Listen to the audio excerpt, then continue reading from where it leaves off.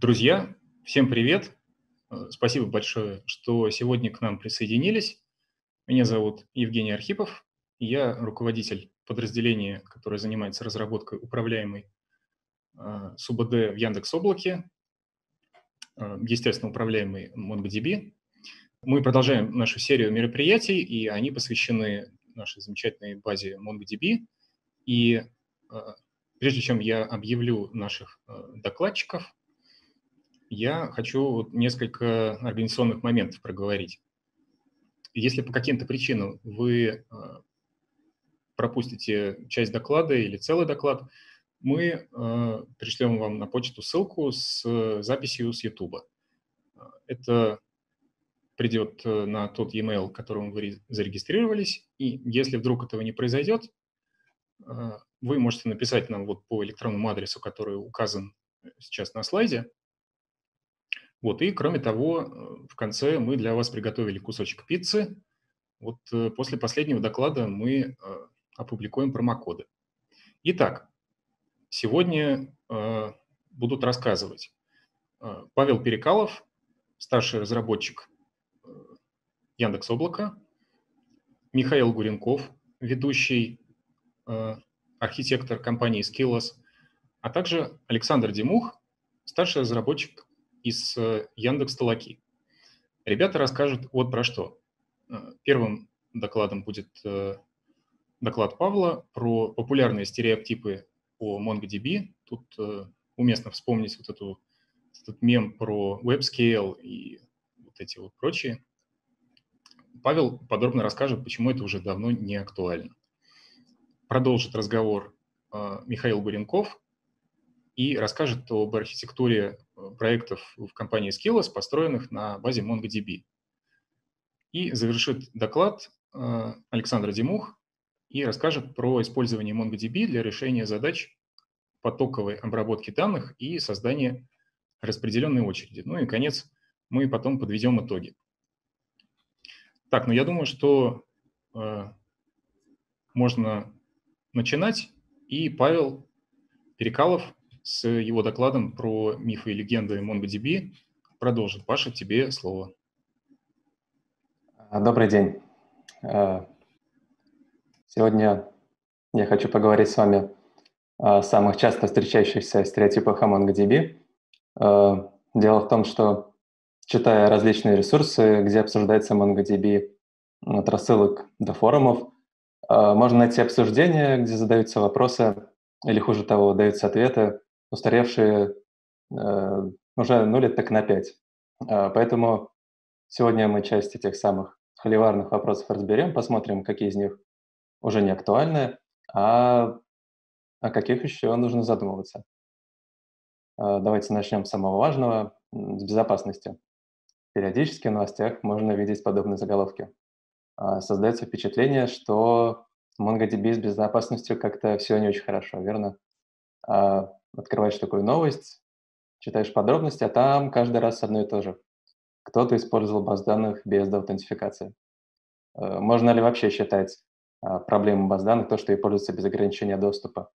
Э, ну, как минимум, сомнительно.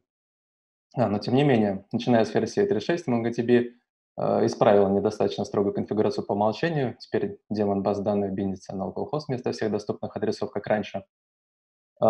То есть, чтобы открыть доступ по сети, нужно сделать это специально.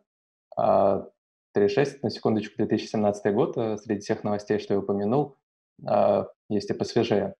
То есть или кто-то использует уже неподдерживаемую версию MongoDB, не включив контроль доступа, или специально, специально открыл доступ к своей базе всему миру. А, пожалуйста, не делайте не так, не так. Не используйте уже неподдерживаемые версии и не отключайте аутентификацию. В нашем облаке мы аутентификацию включаем для всех без исключения. И за актуальностью версии, конечно, тоже следим. А, еще одна вещь, связанная с безопасностью, можно было видеть в свое время. А, дело в том, что давным-давно а, в некоторых версиях э, MongoDB 2 комьюнити сервер был собран без SSL. Можно было собрать руками из э, исходных кодов, выставив правильно флажки. Но сейчас все необходимое есть из коробки вместе с кучей SSL настроек. Так что давно не актуально. А что актуально, так это споры о схеме NoSQL базы данных. А, почему-то считается, что в NoSQL баз данных у данных нет схемы. А, на самом деле схема у данных есть всегда, поскольку а, приложение, работающее с баз данных, всегда рассчитывает на какую-то определенную структуру. И MongoDB здесь отличается только тем, что структуру не нужно объявлять заранее. И тут же приятное свойство. Вы почти не столкнетесь с миграциями. Чтобы добавить поле документ, э, не нужно, как бывает иногда в SQL баз данных, призвать DBA. Иначе там можно запросто начудить такой простой операции, как добавление колонки. А MongoDB нужно новое поле, вы просто начинаете у него писать.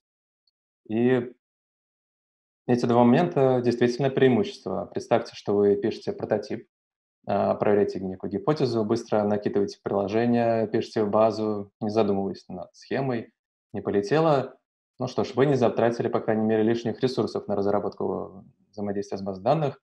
Полетело отлично. А, задумались как следует о предметной области, как она ложится на данные. И вот чего не хватало в этом месте. А, возможности, как классических баз данных, задать ограничения со стороны базы, а, а именно check constraint. В MongoDB такого действительно долго не было, но теперь есть. Уже несколько лет можно настроить валидацию через JSON-схему, то есть стандартный способ без велосипедизма. А верхет на поверку не очень большой, но зависит от валидации, которую вы напишете. То есть нужно нагрузочно проверять свою конфигурацию. А, ну, следующая тема не менее холиварная – это джойны. Но тут коротко, в MongoDB их нет, потому что они не нужны. А, а если серьезно, то джойны, скорее всего, не так часто нужны. И не так часто они нужны, когда мы говорим именно о документной модели. То есть если вы храните генерализованные данные, и все связи у вас внутри документа, выражены с помощью поддокументов массивов. А, ну что же делать, когда join все-таки нужен? А, и первое, чем можно воспользоваться, это DB-референс. По сути, ссылка из одного поля документа на другой, ссылка по ID. Драйвер автоматически ссылки резолвит и подтаскивает док документы вам в приложение. Звучит неплохо, не часто этого достаточно, но проблема в том, что не все драйвера поддерживают DB-референс и вообще могут вести себя немного по-разному в этом месте. Конечно, остается вариант самостоятельно писать join в своем приложении, но и тут вы могли столкнуться с кучей проблем вроде разных аномалий за отсутствие э, должного уровня изоляции со стороны базы. А, ну и в целом, вообще как-то не хочется э, заниматься такими вещами в приложении, хочется думать о бизнес-логике, а джойнах пусть думают разработчики БД. А, и они думали, join MongoDB появился, и можно воспользоваться в рамках Aggregation Framework. Давайте расскажу коротко, что это такое. Aggregation Pipeline — это фреймворк, встроенный в MongoDB и поддерживаемый драйверами. То есть для его использования не надо ничего хитрого настраивать, это просто часть баз данных. Выглядит это как-то так. Вы задаете набор стадий, через которые пройдут данные выбранной коллекции, ну, в нашем случае коллекция orders. Э, первая стадия у нас фильтрует значение, э, фильтрует документы по значению более статус, вторая группирует по ID подписчика и считает агрегат э, суммы по полю amount. И стадии могут заниматься самым разным, они могут фильтровать данные, могут как-то менять проекцию, например, развернуть массив, могут посортировать, посчитать агрегаты, добавить поле, удалить поле и так далее. Всего около 30, по-моему, различных стадий. Сам flow при этом может разветвляться. По вашему критерию можете отправить э, данные в ту или иную часть э, пайплайна. Э, результаты можно сохранить в коллекцию в специальной стадии out. И вот в последней версии можно сделать еще интереснее. Можно смержить результат пайплайна с содержимым некой коллекции и получить тем самым материализованное представление и обновлять его по требованию. Плюс, опять же, в последней версии еще один есть приятный бонус можно использовать aggregation framework прямо внутри апдейтов. То есть как-то хитро можно обновить документы, используя всю выразительность aggregation framework. А, ну и выглядит как-то так, что aggregation pipeline — это некая замена SQL со вкусом MapReduce. А, отчасти так оно и есть, имеется даже хорошая инструкция по соответствию фич SQL стадиям пайплайна. Итак, возвращайтесь к джойну. А, в aggregation фреймворке есть стадия, работающая как left outer join, стадия lookup. Также есть возможность рекурсивно обойти граф, представленный у вас данных, соответственно, граф lookup. Тут есть ограничения, исходная коллекция пока что не может быть шардированной, ну, остальные могут. А еще раньше ограничения были у шардинга. На Stack Overflow часто можно было найти жалобы на то, что пользователю не получается а, шардировать большую коллекцию. Вот в нашем примере 256 гигабайт. А, тут важно понимать, что этот лимит, он не касается того размера, который может достичь коллекция после шардирования. Такого лимита не существует. А, размер шардированной коллекции ничем не ограничен. А вот именно размер исходной коллекции имеет ограничения. Сейчас именно 256 гигабайт не актуально. Мы шардировали и терабайтной инсталляции, все проходило хорошо. Но некоторые ограничения остались. А, сейчас они зависят от э, выбранного вами размера ключа и размера чанка. А, ниже есть ссылочка на документацию, можете проверить и посчитать лимит для ваших данных. Однако надо отдельно сказать, а, не откладывайте шардирование на последний момент. Сам процесс шардирования, распределения чанков по шардам требует ресурсов и времени, которых вам, скорее всего, и так не хватает, раз вы шардируетесь. Также раньше MongoDB нельзя было сделать э, шарды с разным размером дискового пространства, приходилось подгонять под общий объем для всех. Сейчас это не актуально, размер диска можно указать. А, плюс появились зоны, это возможность так более э, удобно распределить данные по шардам. А, ну, например, допустим, с точки зрения географического расположения у вас есть данные в каком-то регионе, Э, клиента в каком-то регионе, и вы располагаете шард рядом с ними, специальным образом размещаете ключи, которые э, соответствуют этим документам, и данные ложатся на шард и живут э, рядом с пользователями. Ну и в целом шардирование стало весьма удобное и продолжает развиваться. А вот что еще было неудобным, так это API драйверов. Часто можно было встретить подобное, не сразу даже понятно, о чем речь, в чем же дело. А в том, что MongoDB дает возможность э, указать уровень подтверждения каждой отдельной записи э, в терминах баз данных RedConsor. Э, пользователь не знал, что этого нужно делать, и стрелял в пустоту, то есть писал без подтверждения. И замешательство юзеров тоже понятно. Например, в Postgres подобная настройка Synchronous Commit, она выставляется целиком на сервер баз данных, там нельзя сказать, это запись важна, мне нужно подтверждение, а это выстрели и забудь. В Монге же мы, делая важную запись, дожидаемся, что она запишется на большинство нот репликассета, выставляя red concern majority. А, загружаем что-то несущественное, например, статистику или тестовые данные. Экономим время, выставляя red concern 0. А, ну и тут надо сказать, что неинтуитивный дизайн API – это что же, по сути, проблема баз данных. И в этом месте тоже случился ряд улучшений. Э, вслед за сменой протокола записи в драйверах для языков программирования поменялся интерфейс для указания write concern. И если раньше нужно было дернуть метод getLastYerror, чтобы убедиться, что запись с заданной надежностью прошла, то сейчас необходимые настройки можно выставить на уровне сессии, ну, и указать для каждой отдельной записи возможность осталась. А, теперь давайте поговорим о более серьезных и гиковских вещах. Дело в том, что у всех баз данных случаются потери. Э, вспомните хотя бы недавнюю историю с FSync. Из-за странного поведения в ядре Linux э, некоторые баз данных, э, самые разные, ну, например, тот же Postgres, могли потерять данные в случае аварии.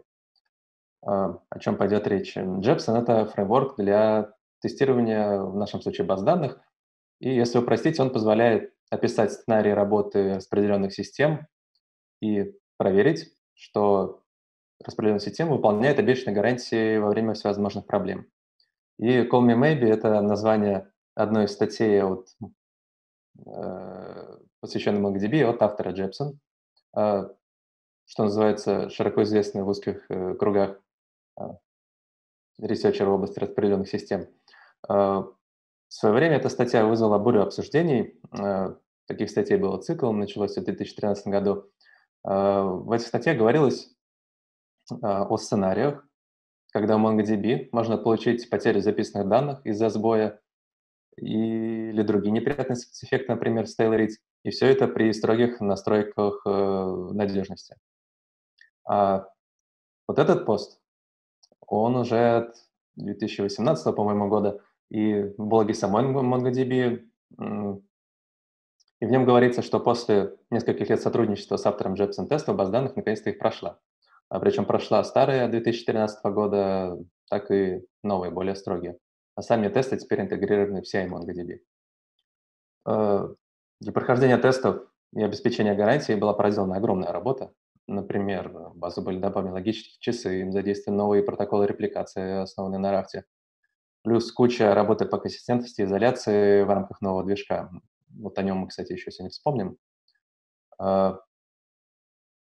А, еще раньше записи не только терялись, ну, в каких-то уж совсем маргинальных кривых случаях, а просто тормозили во время валидной нагрузки. А, дело в том, что у старого движка MongoDB были проблемы с конкурентной записью. И когда эти проблемы проявлялись, страдали еще и чтение. И упрощенно это выглядело как-то так. А, все запросы, прилетающие в MongoDB, выстраивались в очередь внутри базы. А, пишущие запросы при этом выполнялись эксклюзивно, а читающие могли и вместе. Это на всю базу данных. То есть один пишущий момент в один момент времени и один пишущий запрос в один момент времени. И выглядело это так, что баз данных тормозит, а ресурсы железа не утилизированы, то есть мощности, по сути, простаивают. А, в этом месте делали самые разные оптимизации, запросы могли возвращаться обратно в очередь после того, как поработали время, э, какое-то время. А потом вышесказанное распространялось на каждую отдельную базу, потом на коллекцию, но помогало этого мало. В идеале чего хотелось? Э, конечно, хотелось конкурентности на уровне документа. И мы это получили, начиная с версии 3.0, MongoDB появился механизм подключаемых движков, и с ним движок Wired И вот уже в нем, благодаря Motivation Concurrency Control, конкурентность реализована на уровне документа. Э, производительность, конечно, выросла в разы, чтение больше не конфликтует записи, а запись не конфликтует друг с другом, если не борются за один документ. А, плюсом шла ключ, куча клевых фич, таких как компрессия данных в Storage, например, и в целом высокий технический потенциал. Дальше мы это увидим. А, кстати, в последней версии MongoDB старый движок map просто убрали за ненадобностью. А, но чего еще не хватало в нем в свое время? Конечно, не хватало транзакций. Говорили, что серьезное хранилище данных без транзакций не построить. А, и вместо транзакций в MongoDB всегда была гарантия атомарности изменения одного документа. А, ну и получается, что, опять же, в сочетании с продуманной схемой, транзакции вам действительно могут быть в MongoDB не нужны. То есть если у вас смысловая единица документ и все связи, опять же, внутри, через э, поддокументы массивы, э, транзакции могут не понадобиться. И так было много лет, пока настоящие транзакции не появились. Около двух лет назад вышла MongoDB 4.0, и в ней появились транзакции на уровне репликасета да, или шарда. А, и можно теперь, как э, э, классические базы данных, подключиться к базе, сказать start transaction, сделать работу там commit или rollback. А, спустя всего год появились транзакции уже распределенные, можно подключиться к Mongoose, это некая прокси для доступа к шардированному кластеру, и сказать Start Transaction. И вот так уже в классической реляционной базе уже не сделать. Ну, как ровно и не получить шардирование средствами самой только базы. А, транзакции действительно есть теперь. Однако давайте остановимся и пару моментов здесь обговорим. Первое. Не забывайте, что работаете с документной базой, и родная модель с нормализованными данными обычно подходит лучше. Второе, достаточно очевидно. Транзакции, как любые гарантии, э, влекут дополнительные накладные расходы. То есть э, вы можете просто пожертвовать частью производительности, проверяйте, нужно ли вам это, опять же, на своих данных. А, и последнее надо отметить, что у транзакций есть ограничения, не все операции можно использовать внутри транзакции, например, не получится создать базу или пользователя. А, ряд стадий aggregation pipeline недоступен внутри транзакций. Ну, конечно, с каждой новой версией список неподдерживаемо сокращается, так что следите за изменениями. Э, кроме того, очень важно знать документацию именно по транзакциям и указывать правильные настройки read-write, read-write консерва и правильно обрабатывать ошибки. Ну и в целом фича ну, относительно новая, помните об этом. Э, ну и, наконец, последняя вещь, о которой мы сегодня поговорим, это бэкапы. Оставил на потом, потому что этот слайд, слайд самый грустный и отличается от остальных тем, что тут до сих пор правда. В MongoDB действительно нет горячего бэкапа. Э, это значит, что не получится просто взять и забрать файлы с файловой системы, не останавливая сервер баз данных или не, не останавливая запись в него. Иначе можно получить неконсистентную кашу, да? А, остаются логические бэкапы, они дольше по времени, поскольку надо прогнать данные через э, саму базу, и ресурсов при этом потребляется, конечно, больше. Однако горячий бэкап есть в Enterprise версии, ну, а мы помним, что фича оттуда со временем community -версию все-таки перетекает. А, второй момент. Э, доступного решения для восстановления на определенный момент времени тоже нет. А, речь о ситуации, когда, допустим, один из ваших э, разработчиков, молодцов, нажал не ту кнопку и удалил, например, часть данных. И мы хотим восстановиться вот на момент прямо перед проблемой. Не на ночной резервной копии, иначе потеряем данные за весь день. А, и как мы планируем с этой проблемой бороться, я рассказывал осенью, можно посмотреть по ссылочке. А, если коротко, мы разрабатываем, ну и, конечно, используем внутри Яндекса open source утилиту для бэкапов Postgres, Valg. Вот в ней и делаем point-in-time recovery для MongoDB. Как сделаем, сразу появится в Яндекс облаке, ну и в репозитории, конечно же, тоже. А, ну, и прежде чем закончим, хочется сказать пару общих вещей. А, база данных — это всегда непросто. Причем просто развернуть базу и начать что-то в нее писать сейчас проще простого. Запустил докерный образ, подключил приложение, готово. Но на более-менее серьезном проекте все веселье начнется потом. Проблемы безопасности, масштабирования, обслуживания и прочие прелести администрирования обязательно проявятся со временем и с нагрузкой. А, если от администрирования вас обычно избавляют управляемые платформы, как Яндекс Облако. А, попробуйте, если еще нет. А, как именно избавляет, можно посмотреть по ссылке, рассказывает мой коллега. В любом случае, создание схемы и развитие работы с баз данных в вашем приложении остается за вами. Это действительно нетривиальная задача, и она есть всегда какую бы вы базу данных не использовали, реляционную, документную, графовую, какую угодно. И вот на какие же практики стоит ориентироваться в MongoDB? Начать, безусловно, стоит с официальной документации. Там есть целый э, раздел про моделирование данных. Э, стоит обратить внимание на портал обучения MongoDB. Там куча самых разных курсов с домашкой, с видео, от знакомства с MongoDB до анализа производительности и разработки схемы. А, ну и последний это просто пост э, в блоге MongoDB. А, удобный справочник по ряду популярных паттернов. А, давайте подведем итоги.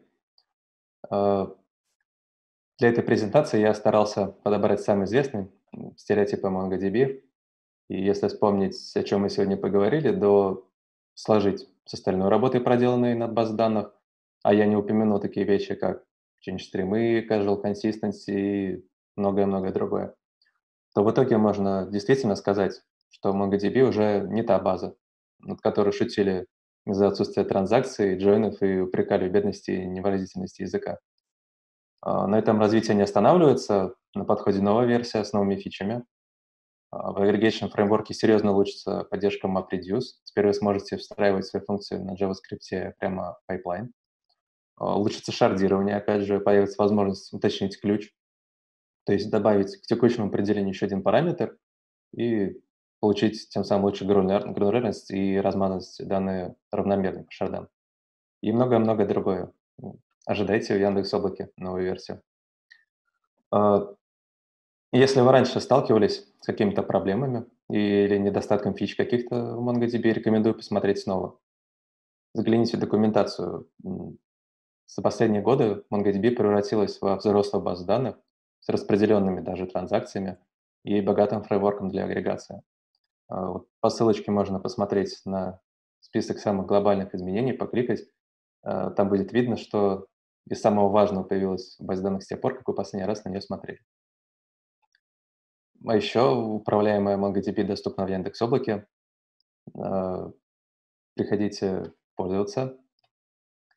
Много о чем мы сегодня говорили. Например, проблемы с безопасностью или администрированием мы решаем за вас.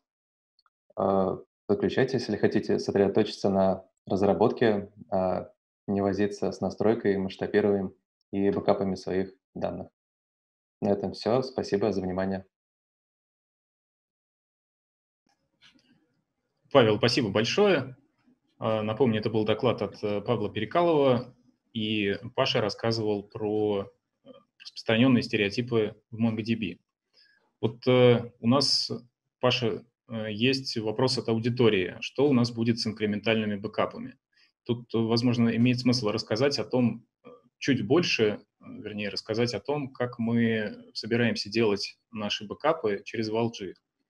И что, наверное, на первом этапе там будет только э, логическое бэкапы и Питер. А что, ага. можешь прокомментировать? Да, ну, опять же, э, там я приводил ссылочку, да, по ходу доклада, где я на эту тему делал целое выступление, ну, тоже короткое, опять же, но можете посмотреть, если хотите подробностей. Э, но в двух словах, действительно, для нормальных бэкапов нам нужен способ снять копию баз данных. Сначала это будет логический бэкап, то есть потом, может быть, э, будем участвовать в разработке бэкапа э, горячего, там появится инкремент и так далее. Тем не менее, сначала это логический бэкап, а чтобы восстановиться на какой-то момент времени между этими бэкапами, мы просто откладываем в хранилище oplog, блок репликации баз данных, да, и при восстановлении проигрываем его от момента конца бэкапа, от момента начала бэкапа до вот необходимого необходимой точки, чтобы установиться на нее. Да, Паш, спасибо. Напомню, что эта разработка, она, естественно, будет доступна первой в Яндекс Облаке на нашей платформе управляемых СУБД, но вместе с тем она будет доступна open source, и поэтому любой желающий, не обязательно на нашей платформе, может ей воспользоваться. Мы и поучаствовать ждем... в разработке. Да, и самое главное, приносите pull-реквесты. Мы очень ждем их от вас. Окей, давайте продолжим. И, наверное, э, продолжит э, Михаил Гуренков, э, главный архитектор Skills, и он расскажет об архитектуре проектов, построенных на базе MongoDB в компании Skills. Я буду рассказывать, как мы в Skills работаем с MongoDB. А, так, сейчас, секунду. Вот. Про презентацию, из чего она состоит. Вначале я немного расскажу про Skills, во второй части я расскажу, как возможности MongoDB позволяют нам экономить время разработчиков. В третьей части расскажу про наш опыт работы с Managed Mongo. И в четвертой части я расскажу про задачи, в которых мы MongoDB использовать не стали. Итак, первая часть про Skills. Skills – это интеллектуальная рекрутинговая система полного цикла. Э, это единая экосистема для автоматизации всех этапов отбора и оценки кандидатов. Она объединяет на одной платформе всех людей, кто принимает участие. Также предоставляет централизированную отчетность, аналитику э, и прозрачность HR-процессов. Также она позволяет интегрироваться с внешними решениями для оценки и обучения кандидатов. Э, у Skills самые большие проекты по HR рекрутмента, и э, среди наших проектов это оцифровизация массового подбора в э, компаниях Сбербанк, Мегафон, Газпром нефть. А, по словам, по словам наших клиентов, использование Skills на 35% снижает стоимость подбора и на 44% увеличивает скорость найма. А, два с половиной месяца назад мы переехали в Яндекс Облако, вот здесь примерные параметры нашей инсталляции. Она ну, не маленькая и не очень большая. Мы используем Managed MongoDB с локовой SSD-дисками и э, база данных в проде порядка 120 гигабайт. А, MongoDB достался нам от э, первой команды, но э, мы регулярно проводим архитектурный ревью, и в рамках таких ревью мы каждый раз отмечаем, что Mongo хорошо подходит для решения наших задач и также позволяет экономить время разработчиков. А, и а, подробнее почему я сейчас расскажу. Э, но перед этим э, пару слов о нашем о контексте. Как правило, контекст определяет ну, правильность выбора инструментов.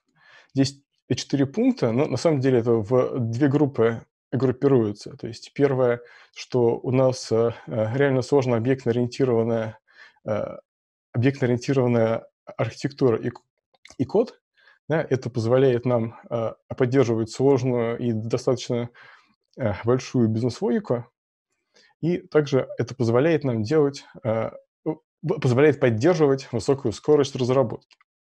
И также еще одна особенность автоматизации, что э, э, для разных клиентов сущности могут иметь разный набор полей.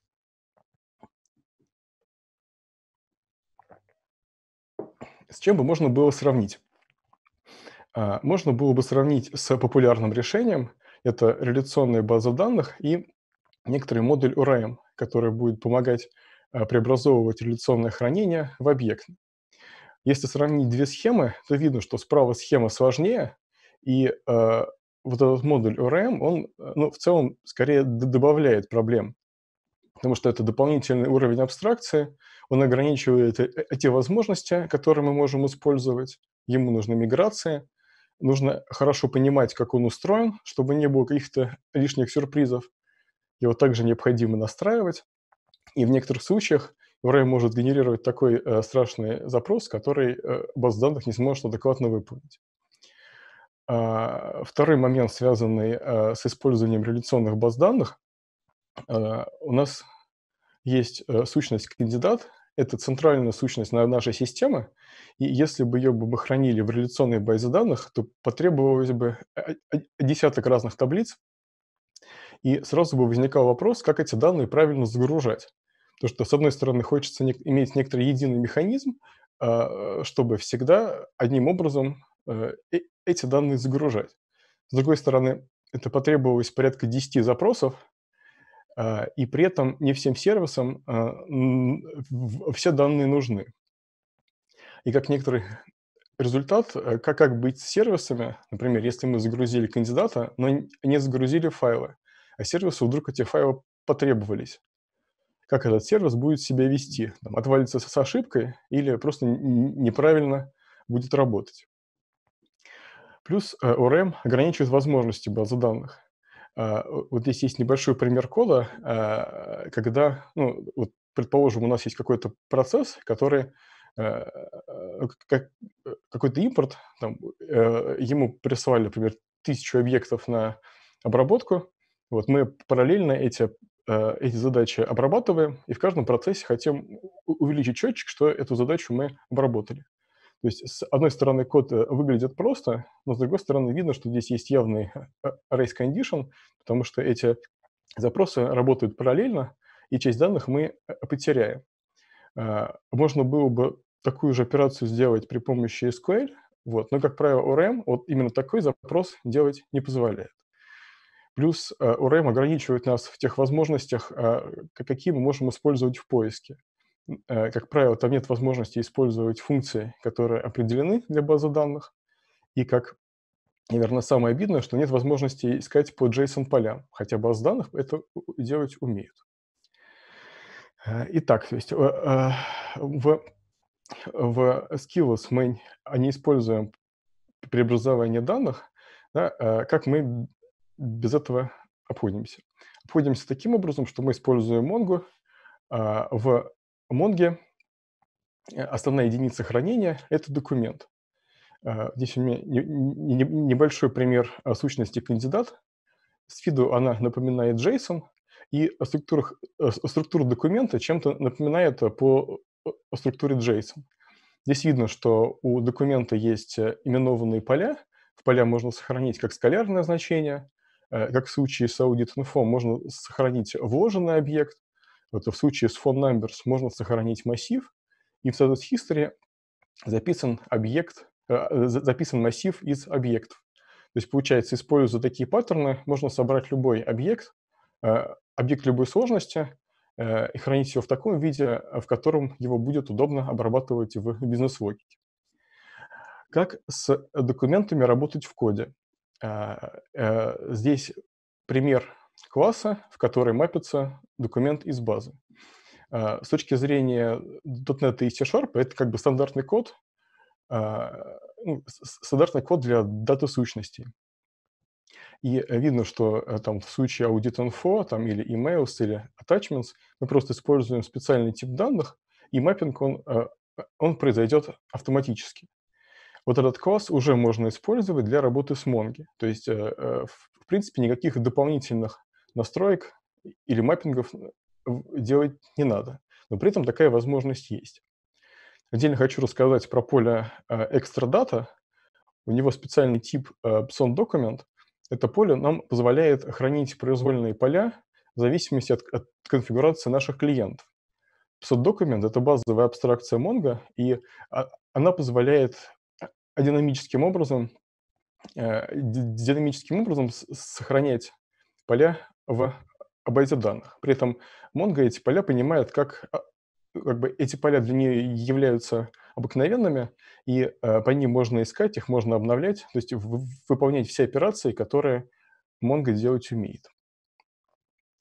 А, если сравнить с реляционной базой данных, то нам потребовалось бы десяток таблиц, да, и непонятно, как эти данные загружать. В Mongo это всего, одно, это всего один документ, и загружается он при помощи одного запроса. А, получается, что документы ближе к ООП, а структура данных определяется классами в коде. Каждый документ соответствует классу в коде, есть однозначное преобразование. Также можно настроить маппинг. Например, как, как поле должно называться в базе данных. Можно э, указать, как э, поле должно в базе храниться. Например, для enum полей можно выбрать, это будет э, код или это будет название enum.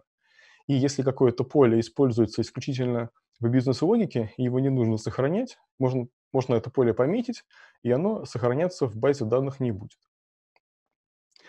Следующий момент – это запросы к Mongo. А, MongoDB предоставляет механизм для поиска, ну, для работы под названием Mongo Shell. А, это такой JavaScript, да, в котором э, все параметры, которые вы хотите от запроса получить, они передаются как параметры в нужные, э, в нужные функции. Э, при этом для фильтрации вы можете использовать э, поиск по всем полям, по скалярным, по массивам, по объектам, по массивным объектам, координатам. Можно использовать полнотекстовый поиск.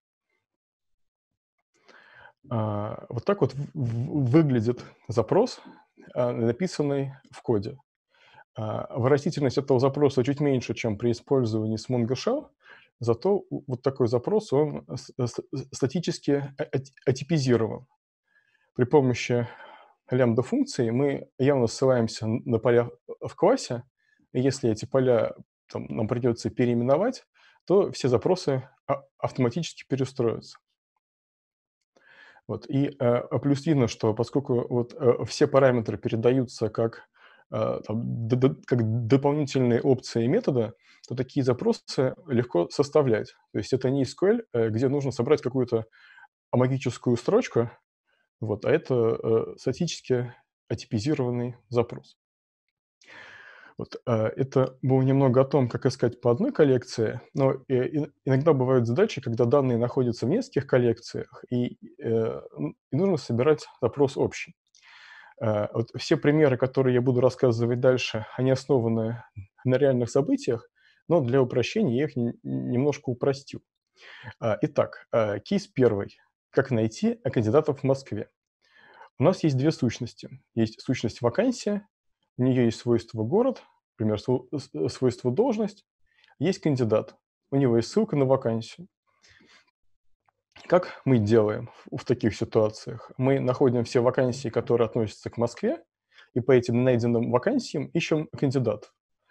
А, это а, такой кейс работает хорошо в том случае, если вот по vacancy ID в нашем случае будет хорошая селективность. У нас это так, потому что на одной вакансии может быть 100 человек, там, 1000 человек, 10 тысяч человек.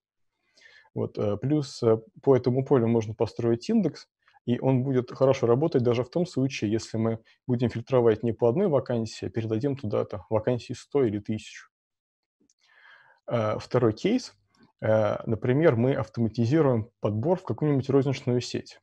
У нас есть сущность магазин, у нее есть название, у нее есть, у нее есть город и координаты. Есть а, сущность вакансия. В ней указана должность, и есть ссылка на магазин. Вот с точки, с точки зрения там, третьей нормальной формы это было бы достаточно. Ну, а, третья нормальная форма не позволит нам искать э, по магазину, э, по, а, а по городу сами вакансии. И а, в нереляционных базах данных и в Mongo в частности денормализация является, является э, правильным шаблоном проектирования, и в нашем случае мы берем и во время создания вакансии часть данных магазина копируем в этот объект. И э, после этого мы а, можем искать вакансии по, по, по городу. Так же, как продолжение этого кейса, хорошая история хранить, не просто, э, э, хранить ссылки не как айдишник, а как некоторый объект, котором есть идентификатор и некоторые дополнительные поля, которые можно использовать при отображении, э, либо для поиска.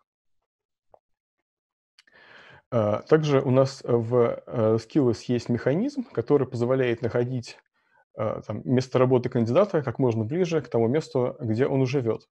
Для этого мы используем геоиндексы, они работают из коробки.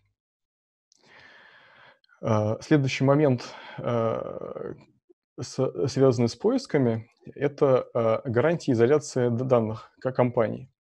У нас такая архитектура, что у нас единая база для всех, для всех компаний. И при этом, если у нас э, в, компании, э, в систему заходит пользователь компании один, то он должен видеть только свои данные, а чужие данные он видеть никакого права не имеет. Вот, самый простой способ это реализовать, это было бы там, в каждый запрос добавить условие, там, company ID равно там, компания пользователя. Вот, но такой запрос, он, э, такое решение, оно не совсем надежное, потому что разработчик может забыть добавить, тестировщик может не проверить, и если в проде э, а, а, а, случится инцидент, то это будет э, очень, очень неприятно. Как мы сделаем? Э, поскольку все запросы – это э, структурированные объекты, мы э, проверяем каждый запрос, который уходит в базе, и проверяем, есть ли в нем условия на company ID. Если условия нет, мы это дерево перестраиваем – и добавляем дополнительные условия. То есть, таким образом у нас получается федеральное решение, которое работает всегда и которое позволяет нам как бы быть спокойны о безопасности и конфиденциальности данных в нашей системе. Э, следующая часть – это про обновление. Э, Mongo позволяет по-разному обновлять документы. Есть разные паттерны. Э, можно обновить документ целиком. Можно обновить какие-то отдельные поля. Можно сделать инкрементальный запрос без, без загрузки объектов. А, значит, э, можно за один запрос обновить один документ, за один запрос обновить несколько документов. То есть э, возможностей много. И э, плюс, как дополнительная опция, в Mongo есть механизм, который называется bulk write. Э, это часть обычного API, и она позволяет объединить несколько запросов на обновление в один. За счет этого они работают намного быстрее. Э, у нас был кейс, когда мы делали э, механизм синхронизации справочников. Значит, во время первого подхода нам прислали 50 тысяч, мы сделали 50 тысяч одиночных запросов. Такой апдейт работал порядка 5 минут. Вот. Нам показалось, что это долго, мы посмотрели документацию, переписали код. Вот чтение документации, адаптации кода ушло порядка 30 минут. Вот. И во время следующего подхода э, мы э, запросы сгруппировали по тысячу операций, и на, на тот же объем данных уже ушло порядка 30 секунд. То есть экономия где-то на порядок. Следующий момент, что миграции не нужны. То есть э, база данных а, а, а, автоматически э, подстраивается под э, структуру классов. То есть новые коллекции, новые поля создаются автоматически. Вот при этом, если у вас меняется структура или формат хранения данных, то, конечно, миграции нужны. Мы миграции делаем при помощи кода, и у нас есть формальная процедура, которая миграция позволяет довести до релиза. Так, э, следующий момент по поводу особенностей проектирования. А, э, на наш взгляд, самое важное, э, самый важный вопрос проектирования в Монге – это правильно выбрать сущности. Я не буду давать совет, как это сделать, я дам два антисовета. И первый антипаттерн – это вы, выбирать слишком большой документ. Какой был кейс? У нас есть сущность отдел, и в ней свойства потребности. Но это смысл, типа, сколько, сколько каких должностей в это дело нужно нанять. Вот, и поначалу они э, вот, э, жили хорошо вместе, вот, а через некоторое время э, вот, потребности стали как-то э, развиваться отдельно, и стало, э, и стало неудобно их вместе хранить. То есть появилась такая двойная адресация, то есть нужно э, передать идентификатор отдела и внутри этого отдела идентификатор потребности. И в итоге мы взяли эти две сущности, разделили, и стало намного удобнее. Э, э, следующий антипаттерн – это, наоборот, выбирать слишком маленький документ. Кейс такой. У нас есть сущность пользователь, здесь хранится контактная информация и параметры авторизации. И следующая сущность – это доступ пользователя. Она определяет, э, как э, пользователь в какую компанию, с какой ролью имеет доступ. Вот. И это неудобно э, иметь две сущности, потому что постоянно нужно делать два запроса. И более того, не всегда понятен порядок. То есть, например, а если мы по одному пользователю хотим понять, э, какие у него права, сначала грузим пользователя, потом доступ. Если мы хотим выгрузить э, всех пользователей компании, то сначала мы выгружаем доступы, потом выгружаем пользователей. А если хотим найти кого-то по фамилии, то опять сначала нам нужно выгружать пользователя, а потом доступы. Ну, то есть это не очень удобно, запутывает. И в целом вот такие сущности лучше объединять, то есть чтобы э, вот с той, той сущностью, которая справа, можно было работать одним запросом. Итого, э, документы ближе к ООП не нужны дополнительные преобразования. Вот, на наш взгляд, это самое важное, самое важное свойство Mongo, которое мы используем в Skills. MongoDB драйвер предоставляет максимально возможности MongoDB. В Mongo есть мощные возможности по поиску и обновлению данных, да, в том числе можно обновлять без загрузки данных и э, делать массовые обновления. И э, важно помнить, что документ-ориентированные базы данных – это не реляционные базы данных, и у них есть свои особенности проектирования. Их нужно учитывать. Следующий раздел про Avenged Mongo. Во время переезда в Яндекс Облако мы решили использовать мы решили использовать Managed Mongo. У нас было три, три причины, почему мы сделали такое решение. Причина один – это возможность использовать Local SSD. В э, прежней инсталляции у нас неоднократно были проблемы с ограничением сетевых дисков. Мы упирались э, в их производительность и э, сейчас решили заложить некоторый запас. Второй момент – это восстановление данных на любой момент времени. Эта функция сейчас находится в разработке у команды Яндекс Облака. А, такой стандартной возможности нет у Монги, а для нас это будет... Э, э, ну, а для нас это важно, потому что это позволит нам сократить РПО. То есть в случае каких-то проблем мы сможем восстановить максимальное количество клиентских данных. А, и третий момент – это э, вот такой микс из опыта Яндекса в работе с Mongo – это партнерство с MongoDB и сертификация решения. Э, для нас это важно, потому что будет, э, что у нас всегда э, свежие версии Mongo, правильно настроенный кластер и не будет каких-то э, случайных проблем из-за неверной настройки. Что нужно знать для запуска? Э, наверное, самое главное, что нужно знать, нужно разворачивать кластер в той же сети, что и приложение. Мы изначально сделали не так и потратили там достаточно времени, чтобы разобраться. Второй момент, э, что базы создаются из консоли управления. Раньше базы создавались приложением, и нам пришлось немножечко этот механизм и переделать. И э, третья часть – это скорее рекомендация.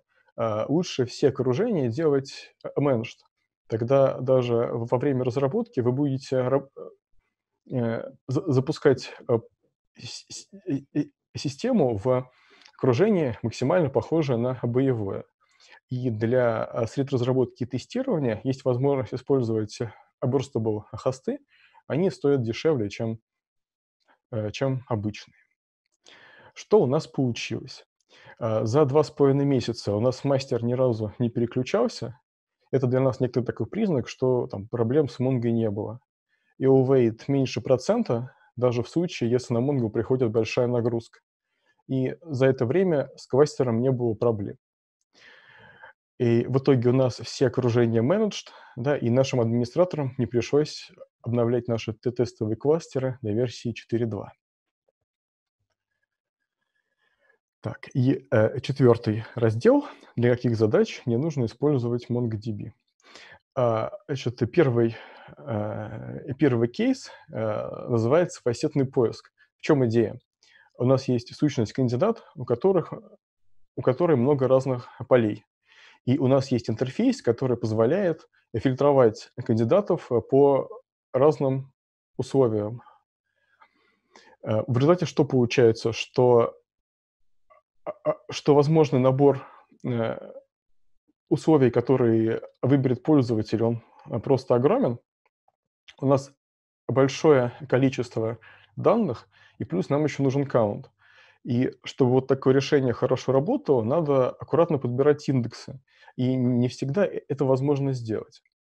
А, что лучше? Вот для таких задач лучше использовать базы данных, которые ориентированы на поиск. Ну, как пример, ClickHouse или Elastic. А, следующий момент – это аналитика и BI. А, на экране э, виден один из дашбордов, который есть в системе. А, у нас э, много других дашбордов, много разных отчетов, и э, это одна из важных функций системы, за которую ее покупают, поэтому она, она важна. Какие еще есть особенности? отчеты сложные. В отчетах используются данные нескольких сущностей. Для разработки отчетов мы стараемся использовать дата-аналитиков, а, и а, у нас есть интеграция с BI, с BI-инструментами. Почему не подходит Mongo? Да, что дата-аналитики и BI, они более ориентированы на реляционные базы данных, и запросы по нескольким сущностям в MongoDB делать сложнее, чем в SQL. Вот, и в итоге мы для задачи аналитики используем реляционную базу данных. Следующий момент – это файловое хранилище. Какие у нас задачи? У нас э, более 40 терабайт хранимых файлов, и в месяц э, добавляется порядка от 3 терабайт. И нам хочется максимально простое и надежное решение для хранения файлов использовать. Почему не подходит Mongo?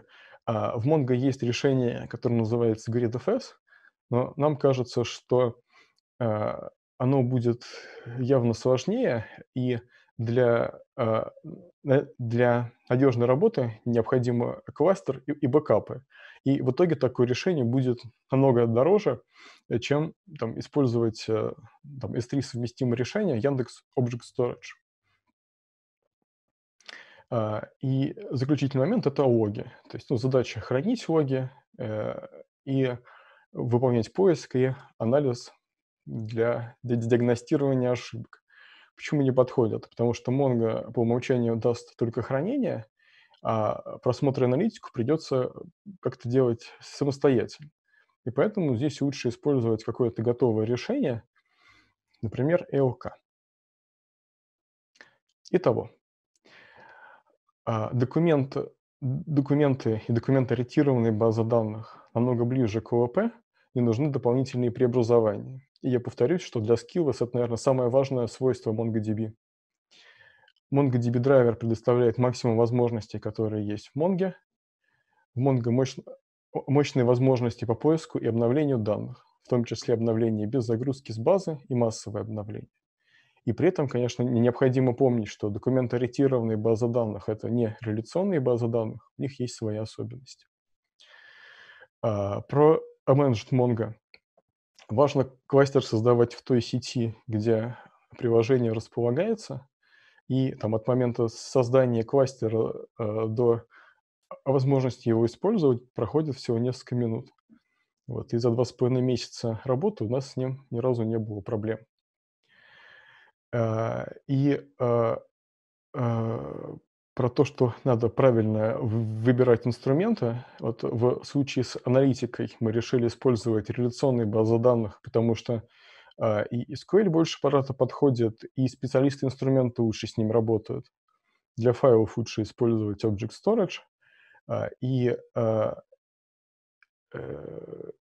не всегда универсальное решение позволяет решить любую проблему. Вот, иногда нужно посмотреть на что-то более э, специальное. В некоторых случаях так будет удобнее. Вот это все, что я хотел рассказать. Готов ответить на вопросы. Михаил, спасибо большое. А, смотри, у нас э, есть к тебе несколько вопросов. Вот э, ты да. упомянул про миграции. Можешь подробнее рассказать, как они выглядят и в каких случаях требуются. Потому что в Манге, как известно, там и схемы нету, и вот миграция как-то оно немножко диссонансом звучит. Да, понятно. Ну, во-первых, да, э, слава богу, миграция требуется крайне редко. Требуется э, обычно в тех случаях, когда меняется э, схема данных, там, ну, допустим, выпускается какой-то, ну, там, например, для какой-нибудь компании для какой-нибудь компании меняется схема процесса, там, и часть полей, которые раньше использовалась, оно там, ну, там использовалось одно поле, а теперь вместо него другие поля. Ну да, просто бизнес-процессы меняются. А... Да, вот э... обычно так. Ну, ага. либо какой-нибудь там серьезный инфраструктурный апдейт, и мы там вместо строки а, а хотим использовать число. То есть, ну, в таком случае тоже делаем миграции. Как mm-hmm. устроены? У нас mm-hmm. э, есть такой проект, ну, он называется там Skills Debug. В общем, смысл, что это некоторые такие дебаг-команды, э, в которых там, э, загружаются исходные данные, mm-hmm. э, и пишется код, который из старого формата преобразует в новый и сохраняет их обратно в базу.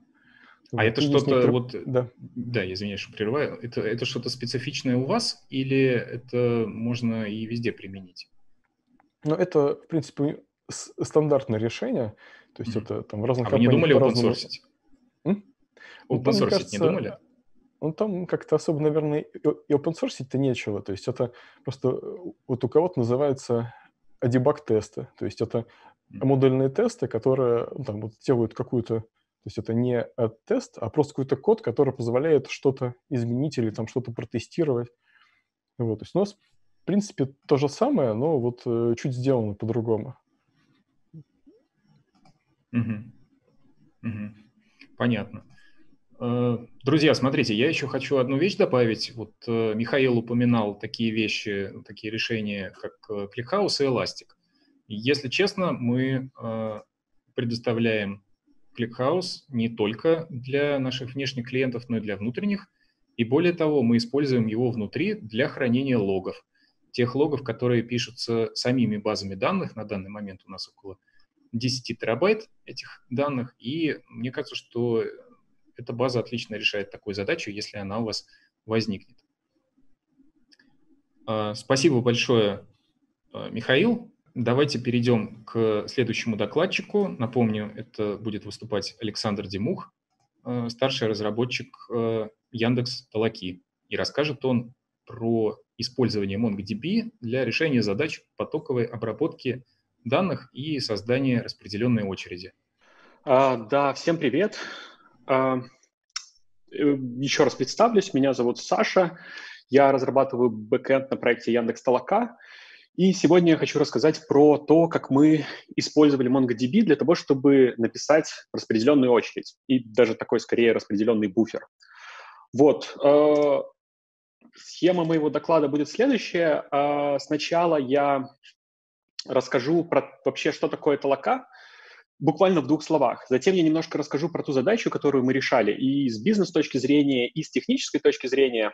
А затем я расскажу про как бы пять реализаций, которые у нас были. На самом деле это не разные реализации, а как бы итерации одной реализации. И с каждой новой итерации мы либо решали какую-то э, проблему, либо фиксили какой-то баг. И в конце я это все, так как у меня будет довольно много идей, которые в моих реализациях заключены в заключении, я это как-то все сведу вместе к каким-то, э, ну, наверное, выводам. Вот, и буквально на пару слов в конце я расскажу, как вот примерно такая реализация работает в толоке э, на реальных числах. Окей, что такое толока? Э, толока — это краудсорсинговая платформа, в которой мы предоставляем заказчикам, то есть это заказчики, это люди, какие-то бизнесы, может быть, разработчики, возможность размещать большие объемы данных. То есть у кого есть э, необходимость размещать большие объемы данных, например, у Э, например, у э, тех, кто занимается машин-лернингом. И э, размечаем мы их с помощью других людей. Это исполнители, которые могут просто зарегистрироваться в Толоке. Для них Толока выглядит просто как сервис с каким-то бесконечным потоком заданий. И они могут эти задания выполнять. Вот. И мы предоставляем платформу, которая обеспечивает полный цикл вот такого взаимодействия. То есть полностью предоставляем все для заказчиков, чтобы они могли запускать такие задания, загружать их в Толоку, получать разметку. А для исполнителей мы просто выглядим как сервис, в котором они выполняют задания, могут выводить деньги, ну и какую-то тоже поддержку э, обеспечиваем. И на самом деле Толока доступна для всех. Здесь э, много ссылок, я по ним сейчас проходиться не буду, но когда вы скачаете презентацию, вы можете посмотреть. То есть у нас много чего интересного, и вы можете зарегистрироваться и бесплатно попробовать. Может быть, у вас есть такие задачи. Дальше. Переходим сразу уже непосредственно э, к теме моего доклада, что мы решали. Оказалось, что как для любой большой платформы, в какой-то момент нам нужно писать сервис аналитики. А сервис аналитики что значит? То есть мы хотим нашим заказчикам показывать какие-то э, числа. То есть, например, э, количество заданий, которые пользователи выполняют в день, или сколько заказчик тратит денег на эти задания в день. И показывать, вот, возможно, такие дашборды, или э, вот такие графики, причем графики мы хотим показывать как и э, с большим каким-то промежутком, то есть график за месяц и с агрегацией по дням, и с небольшим промежутком, то есть практически реал-тайм графики, где мы агрегируем данные каждые 5 минут и показываем такую линию, как задания выполняются в реальном времени. Для краудсорсинга это оказалось вполне себе полезной фичей, потому что э, в Толоке есть даже реал-таймовые задания, например, можно настроить э, онлайн-модерацию, когда комментарии в реальном времени отправляются талокерам, они их быстренько размещают и э, помечают там какие-то, например, э, какой-то спам. Вот. Для того, чтобы рисовать такие графики, мы решили использовать ClickHouse, потому что ClickHouse именно позволяет хранить сырые данные и рисовать эти графики из сырых данных. А мы толком не были уверены, какие из этих графиков в конечном итоге окажутся полезными, и хотели просто иметь возможность рисовать любые из них или строить практически любые агрегации. Но прежде чем вот решать проблему отрисовки э, графиков, оказалось, что нам нужно решить проблему, как писать в ClickHouse. Э, казалось бы, проблема довольно тривиальная. То есть у нас есть ClickHouse, у него есть какой-то SQL-диалект или какой-то API, который позволяет в него писать. Ну, в нашем случае это метод insert А дальше у нас есть уже существующая очередь, в которой, на которой построена, собственно, вся инфраструктура Толоки. Э, в Толоке много сервисов, они общаются между собой через какую-то очередь сообщений. И, соответственно, если мы хотим написать новый сервис, то нам нужно тоже подключиться к этой очереди. И здесь э, нужно сначала определить, какие у нас есть требования для записи в ClickHouse. То есть, во-первых, в ClickHouse мы хотим хранить аналитику точных данных. Как я показывал, мы делаем, например, графики по деньгам. И если у какого-то заказчика э, в конечном итоге данные по тому, как он тратил деньги, не сойдутся с тем, как он их по-настоящему тратил, то, наверное, ну, как-то доверие к толоке будет подорвано. Ну, мы не хотим, наверное, таких ситуаций.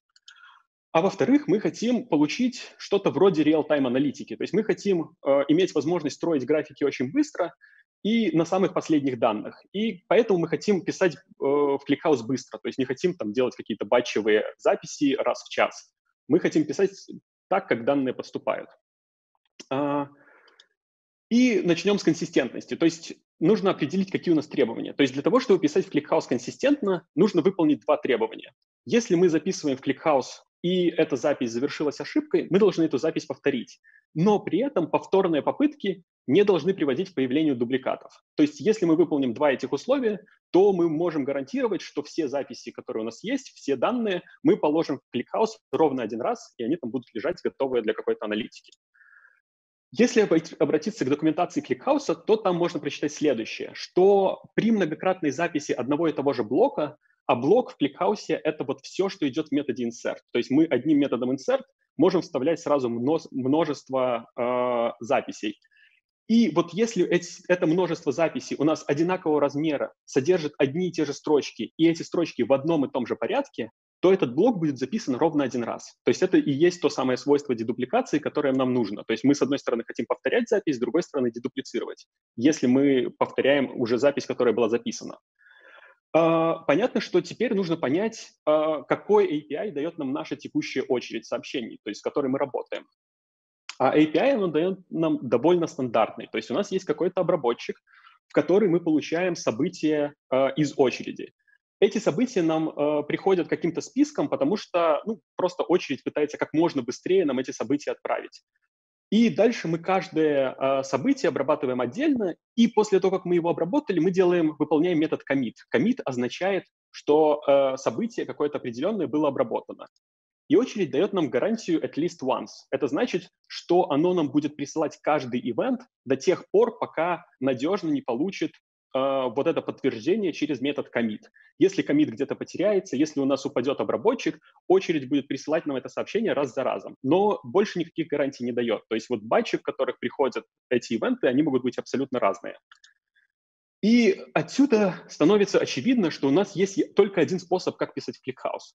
Мы можем, вот наша обработка, это будет, по сути, insert to ClickHouse одного ивента, потому что мы не можем объединить несколько ивентов вместе, чтобы писать, потому что мы не можем гарантировать стабильность при повторениях. Если что-то упадет, то мы теоретически можем создать дубликаты. Это значит, что у кого-то на графике появятся лишние траты, например, денег, которых не существует. Uh, ну, кажется, все понятно. В принципе, так можно писать, почему бы и нет. Но дальше мы задумались о скорости. То есть э, мы оценили, какая у нас сейчас нагрузка на нашу текущую очередь, и оказалось, что мы, скорее всего, будем хотеть там, через несколько лет класть в ClickHouse около 2000 событий в секунду. А, а дальше мы смотрим на то, а, что пишет документация, что написано в документации ClickHouse про то, как, как, как производительно вообще вставлять туда записи. И ClickHouse рекомендует вставлять данные пачками не менее тысячи строк или не более одного запроса в секунду. Здесь нужно понимать, что это не то, что ClickHouse не поддерживает больше одного запроса в секунду, а именно, что если у нас есть какой-то непрерывный поток данных, мы хотим его буферизировать, а потом флашить одним запросом Uh, уже сколько строчек мы накопили, хотя бы раз в секунду. Ну, как бы это, скорее всего, касается одной таблицы. И поэтому у нас появляется вот такая схема. То есть то, как мы на самом деле хотели бы сделать. Мы хотим написать какой-то буфер, который будет собирать записи и затем отправлять их в ClickHouse и делать промежутки между этими записями как минимум в одну секунду. При этом э, вот эти записи, наборы должны быть стабильны. Мы хотим их каким-то образом зафиксировать, чтобы в случае ошибки мы могли их повторить.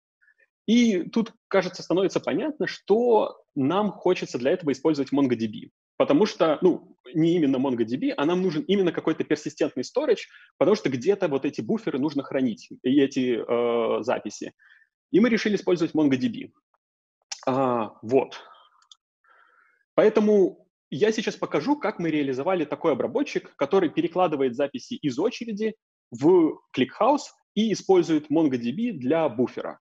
А, Здесь нужно понимать небольшой дисклеймер, что первые четыре реализации содержат различного рода ошибки. То есть это очень такие, а, ну, кажется, что они могут где-то не работать, и это нормально. То есть на них я расскажу какие-то принципиальные вещи, которые хотелось сделать. А, для начала наивная ре- реализация. То есть для начала посмотрим, что у нас лежит в Монге. Этот документ буфер рекорд справа. То есть у него сейчас очень простая структура. У нас есть ID, с которым мы э, эту запись записываем в буфер. У нас есть payload, это то, что мы хотим отправлять в ClickHouse. Нас не очень волнует, что там внутри. И есть только один флажочек send, который, будет от, который мы будем помечать отправленные записи. То есть по умолчанию он false. Дальше алгоритм.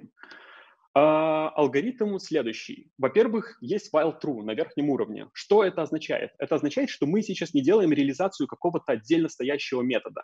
Мы сейчас пишем обработчик, который в теории должен в цикле обрабатывать наш буфер, ну, потенциально вечно. То есть, и поэтому нужно всегда держать в голове не просто, как он выполняется, какое-то его одно выполнение, а именно, как он в цикле вообще весь работает.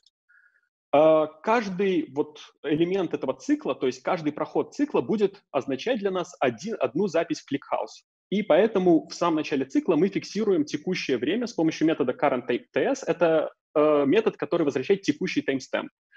И дальше у нас есть список э. Здесь мы храним только ID для того, чтобы накапливать те записи, которые мы хотим послать в ClickHouse.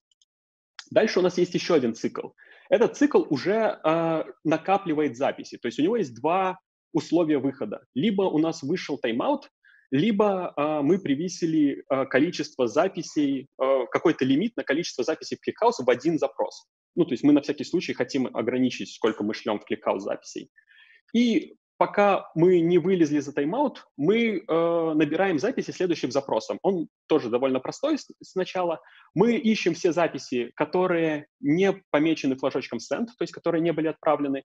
Мы э, сортируем их по ID и пропускаем столько, сколько мы уже успели накопить. То есть, кажется, это дает нам довольно стабильную схему, как мы можем вот поднабирать эти записи э, для того, чтобы послать в ClickHouse. Дальше метод insert to ClickHouse. Нам не очень интересно, как он устроен внутри. То, что нас интересует, это то, что мы передаем ему на вход. А на вход мы ему передаем список записей, которые мы хотим, из которых мы хотим сформировать его блок записи. И э, в идеале, в будущем, мы хотим, чтобы этот, при каких-то ретраях этот список был всегда одинаковым. А, и дальше, после того, как мы успешно послали э, записи в ClickHouse, мы помечаем их как, собственно, посланные. То есть для всех записей, тут мы используем метод update many в MongoDB, который позволяет обновлять много записей, э, и все записи по айдишникам мы проставляем в ним флажочек, что они были отправлены. Э, понятно, что этот алгоритм, он не то чтобы очень рабочий с каких точек зрения. То есть, во-первых, у нас нет никакой поддержки распределенности.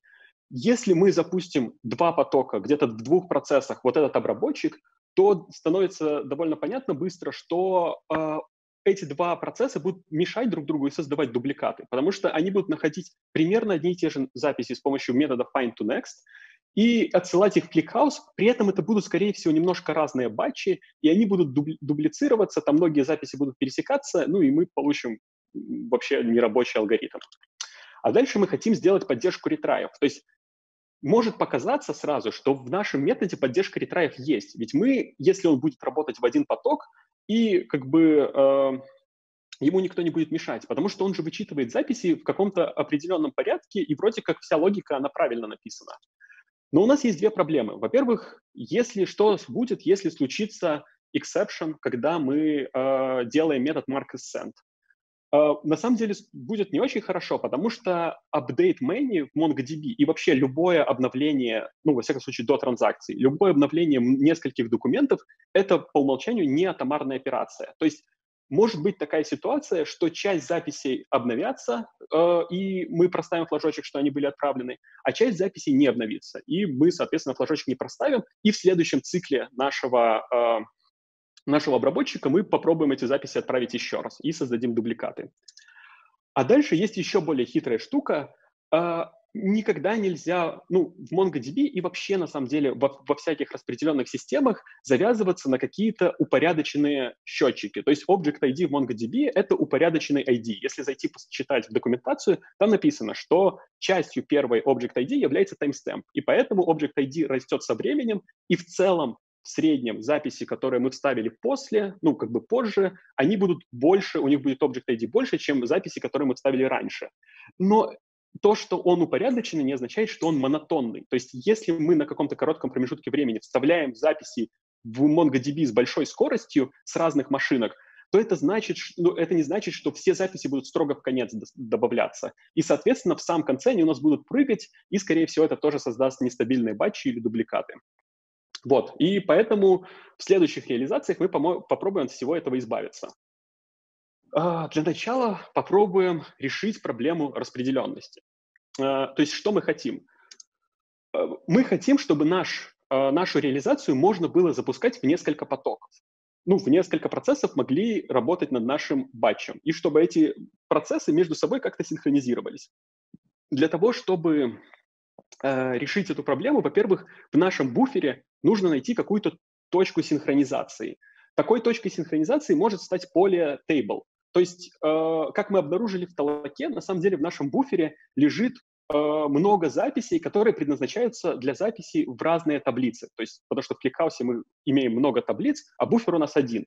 И теоретически мы можем поделить все записи в буфере потаблично таким образом превратив их, превратив их в какие-то не пересекающиеся множества, и каждый из этих множеств уже обрабатывать параллельно. То есть мы находим точку параллелизации в чем-то естественном, хотя это не обязательно. Мы могли также легко ввести какое-нибудь искусственное поле. Тем не менее, мы вводим поле table для наших записей в буфере. А дальше мы добавляем еще один тип документа. Это другая коллекция, которая будет называться batches. И здесь для, каждого, для каждой таблицы, в которую мы собираемся писать, будет создан ровно один документ. Его первичным ключом будет даже поле table. Это как бы первичный ключ, и для каждого тейбла у нас будет ровно один документ batch, с помощью которого мы будем синхронизироваться. Дальше у него есть метод lastSend, э, который будет означать, когда мы последний раз записывали в эту конкретную таблицу, и метод locked э, — это метод, который мы будем использовать для распределенной блокировки как работает эта распределенная блокировка. То есть в конечном итоге, когда мы решили, как мы уже будем э, параллелить наш буфер, мы хотим дальше этот буфер как бы в каждый кусочек, э, каждую таблицу мы хотим писать ровно в один поток. Для этого нам нужно взять блокировку. А блокировку мы берем следующим образом. Мы используем а, атомарные операции в MongoDB над одним документом. То есть Красота MongoDB в том, что мы атомарные операции не обязательно мы должны знать точно конкретно документ, который э, мы хотим обновить. Мы можем этот документ искать. То есть и часть запроса у нас будет е, или у нас вот поле locked until вообще не существует, это значит, что никто не лочил этот документ, или поле locked until, а оно будет содержать какой-то таймстемп. Этот таймстемп меньше, чем сейчас. А сама блокировка — это будет апдейт. То есть когда мы находим такой документ, мы его обновляем и просетываем в поле until какое-то будущее время, тот тайм-аут, на который мы берем нашу блокировку. И так как эта операция томарна, то вот если представить, что 50 потоков пришли одновременно и пытаются взять блокировку на один и тот же документ, то MongoDB гарантирует, что тот, кто первый возьмет эту блокировку и первый просетает поле locked until, все остальные 49 потоков увидят уже обновленное locked until у себя в части query. И, соответственно, оно для них не выполнится, потому что ну, какая-то блокировка будет уже в будущем. И они, соответственно, отвалятся. То есть так MongoDB нам позволяет реализовать буквально одним полем распределенную блокировку. А, и здесь еще одна красивая строчка. Что делать, если мы не нашли блокировку? И мы ничего не делаем, мы просто выходим. Потому что э, и теперь становится понятно, как вообще запускать наш этот обработчик на кластере. То есть внезапно наша э, имплементация, которая была абсолютно однопоточна, она внезапно становится распределенной, потому что мы можем просто каждую секунду, например, запускать процесс вот с нашим таким обработчиком, и те процессы, которые найдут себе блокировку, они как бы останутся и будут работать, а те, которые не найдут, они просто выйдут и ничего не будут делать, и никак нам не мешать. То есть наш обработчик, он теперь еще и сам себя как бы э, как-то синхронизирует. Вот, нам ничего для этого внешнего не нужно. Дальше, метод э, find next to send чуть-чуть изменился. У нас теперь появилось в методе find в части find а, условие, потому что мы для каждой конкретной блокировки, то есть для каждого батча, мы ищем только конкретные записи для конкретной таблицы. То есть это и есть наша точка параллелизации. И у нас в конце появился метод complete batch. Complete batch — это, по сути, снятие блокировки. То есть если бы у нас был стандартный какой-то лог, то это был бы метод unlock для какой-то, какого-то типа классического лока. Но здесь то, что мы делаем для какого-то конкретной таблицы, когда мы закончили обрабатывать батч для нее, мы просто делаем unset полю locked until. Это значит, что мы сняли блокировку. Ну, еще дополнительно обновляем э, запись last send. Вот. Кажется, что вот, ну, то есть на самом деле таким непрост, довольно простым способом, буквально тремя строчками в нашей коде мы превратили нашу просто однопоточную э, какую-то реализацию в, многопо... в даже распределенную. Это очень здорово, и было бы вообще супер здорово, если бы э, на самом деле это все еще не настоящая распределенная реализация. Почему, я расскажу чуть позже. Давайте для начала попробуем разобраться с ретраями.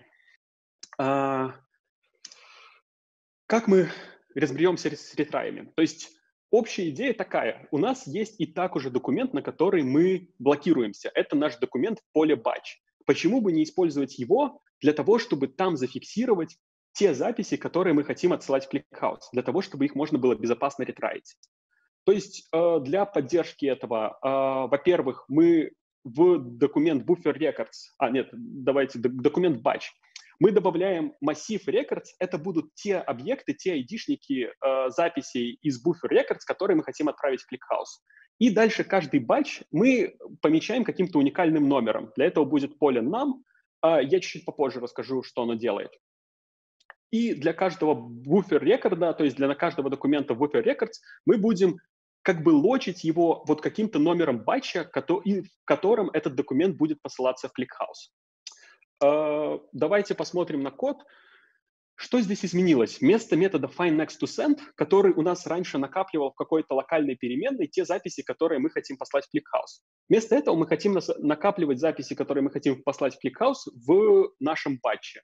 Для этого мы сначала находим записи, которые мы хотим залочить. Здесь метод выглядит точно так же почти, как метод findNextToSend, Единственное, мы еще проверяем, что не существует никакой блокировки locked by, то есть дополнительным условием. И заметьте, что здесь мы избавились от нашей сортировки. То есть нам на самом деле больше уже не важно, как, как посортированы эти элементы, так как Mongo нам сумеет отдать их быстрее всего, так и лучше для нас. То есть э, мы избавились от завязки на что-то ненадежное, как сортировка по Object ID. Дальше мы используем метод update чтобы залочить вот этот список документов, которых мы нашли. Просто в части query у нас список ID-шек, э, и мы обновляем, проставляем текущий номер батча. И дальше эти записи, которые мы нашли, мы добавляем в наш батч с помощью метода pushAll. То есть э, здесь мы находим наш батч по запросу, это именно по таблице, и добавляем записи. Все, в общем-то, понятно. И этот запрос, он всегда отрабатывает, потому что всегда точно существует такой документ по, э, ну, по части query, потому что иначе бы мы просто не захватили блокировку.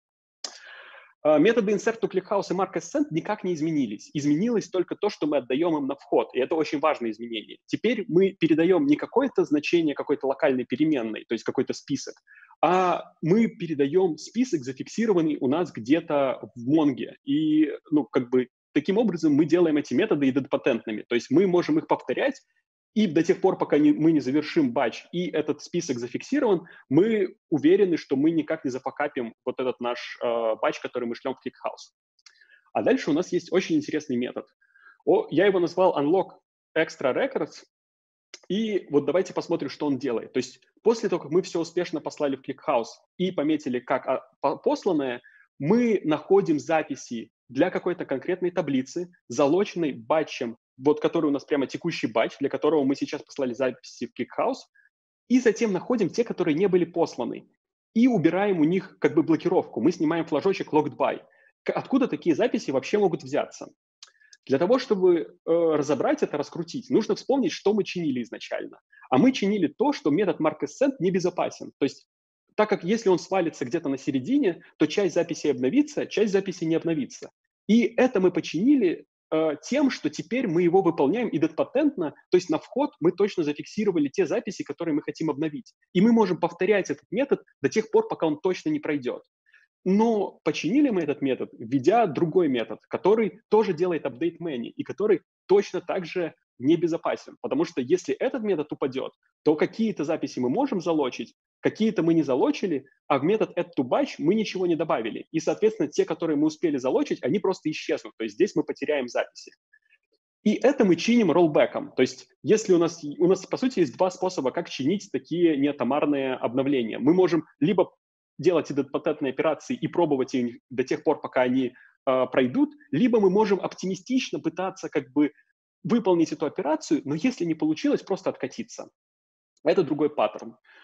И здесь интересно, что метод uh, unlock extra records – это тоже метод update many, и он точно так же небезопасен с этой точки зрения, но если посмотреть, тут всплывает, uh, зачем нам нужен был уникальный номер для каждого батча. Так как мы анлочим записи для каждого уже зафиксированного батча, этот метод тоже идемпотентен. Мы его тоже будем повторять до тех пор, пока он не пройдет. И таким образом у нас в конечном итоге все сойдется. То есть здесь мы получили eventual consistency в рамках нескольких циклов нашего буфера, обработки нашего буфера. И метод complete batch теперь выполняет чуть-чуть больше, чем просто снимает блокировку. Он убирает, э, очищает наш массив records и инкрементит э, номер блокировки, чтобы у нас номер буфера, чтобы каждый, э, каждый буфер имел один, каждый батч имел уникальный номер. Вот. Таким образом мы поддержали ретраи.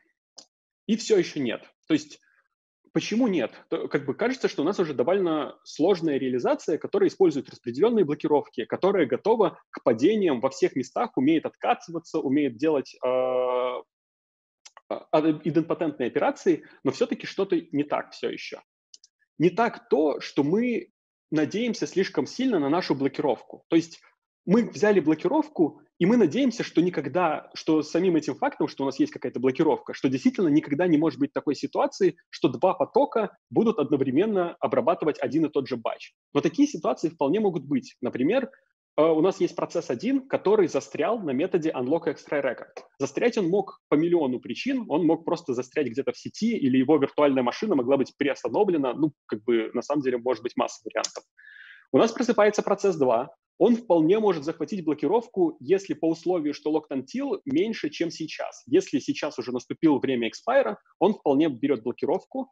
А, в цикл он не входит, потому что он все еще обрабатывает а, тот же батч, который а, обрабатывал процесс 1, поэтому он сразу отправ... начинает отправлять записи в ClickHouse. Здесь все хорошо, то есть к этому мы готовы. Мы как раз-таки зафиксировали записи для того, чтобы их можно было ретраить. Процесс 2 все выполняет правильно, то есть он отлично выполняет и метод unlock extra records и завершает батч. И с его точки зрения все вообще отлично, и на самом деле все отлично пока. То есть если бы процесс 1 сейчас умер, то процесс 2 чувствовал бы себя отлично, и наш бы алгоритм чувствовал себя отлично. Далее процесс 2 берет следующую блокировку и начинает обрабатывать следующий батч. Здесь он накапливает новые записи, это уже следующий батч, и переходит к этапу записи в ClickHouse. И в этот момент происходит такая печаль. У нас процесс один внезапно отживает.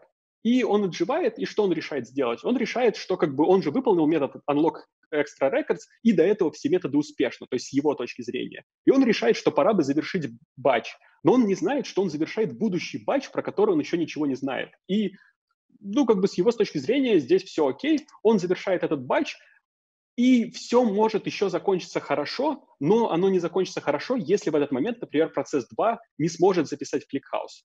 Так как батч, с которым работает процесс 2, уже закончен, мы уже потеряли те записи, которые он должен был туда записать, и мы не, можем, не сможем их заретраить. И если произойдет exception, если так получится, что мы не запишем записи в ClickHouse, то мы потеряем данные. Не очень круто. Есть второй вариант. Например, мы залочились э, на методе find2log, процесс 1, опять же, просыпается процесс 2, точнее не залочились, а застряли. Процесс 2 приходит туда же, где у нас висит сейчас процесс 1, они собирают один и тот же батч. И они достанут примерно, скорее всего, одни и те же элементы из буфера. Они перейдут к методу lock records, и тут интересно, процесс 1 в этот момент, он как бы отжил, то есть ничто ему не мешает, на самом деле, отжить, там, замереть на пару секундочек, а потом как бы вернуться.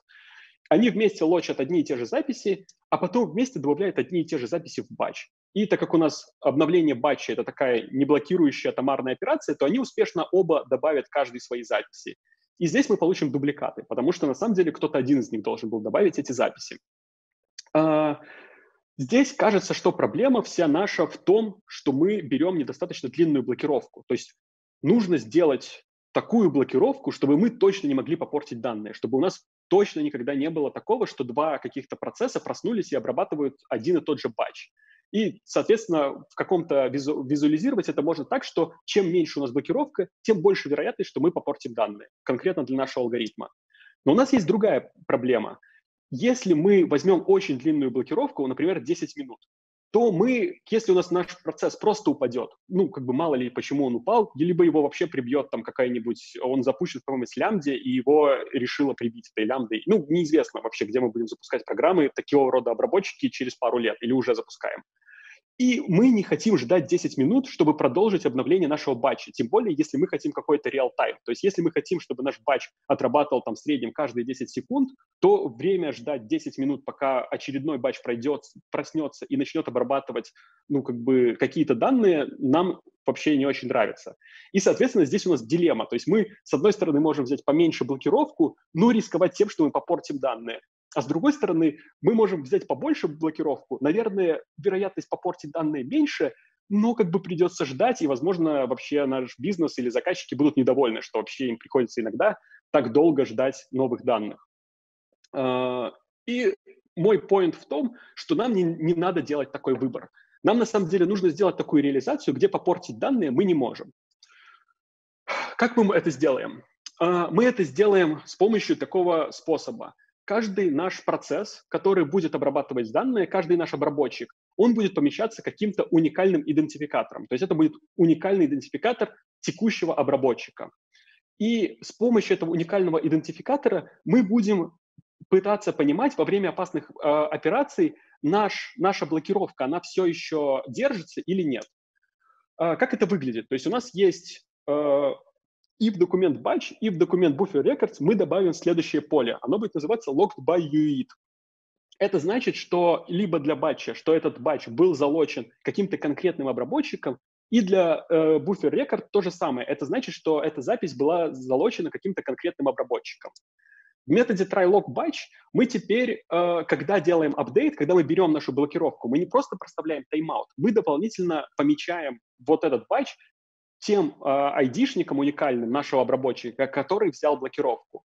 И здесь мы можем еще сделать такой небольшой хак. Ну, не хак, а оптимизацию. На самом деле, из-за того, что теперь мы всегда точно можем определить, у нас все еще наша блокировка, она как бы валидна или невалидна, мы можем эту блокировку больше никогда не снимать, а мы можем как бы создавать такие процессы, которые будут вечно жить и будут просто продлевать эту блокировку от цикла к циклу, между операцией э, к операции. И для того, чтобы это поддержать, еще тогда, когда мы берем блокировку, мы можем э, поискать в условии запроса, что, может быть, есть батчи, на которые у нас и так уже есть блокировка. То есть и тогда мы можем просто взять этот батч и уже работать с ним, а не просто брать какую-то новую блокировку. Вот. Uh, методы log records чуть-чуть меняется. Теперь в методе log records мы не просто вслепую лочим записи. То есть мы верим, что как бы мы сейчас единственный поток, и мы пытаемся залочить какие-то записи. Мы э, пытаемся залочить только те записи с помощью дополнительного условия в методе update many, которые действительно никем сейчас не залочены. И нужно понимать, что несмотря на то, что вся операция update many, она как бы вместе не атомарна, каждое конкретное обновление документа в этой большой операции, оно атомарно. И поэтому для каждого конкретного документа условие, э, что, э, ну, как бы, что нету никакого лока, оно будет выполняться то, гарантированно. И поэтому только один поток гарантированно сможет залочить эти записи. А дальше мы, опять же, не верим тому, что мы все записи, которые мы пытались залочить, мы залочили. Для этого мы вводим еще один метод дополнительный, которым мы находим действительно залоченные записи. Уже из списка тех айдишников и айдишника текущего потока мы находим то, что мы действительно смогли залочить в этот проход цикла.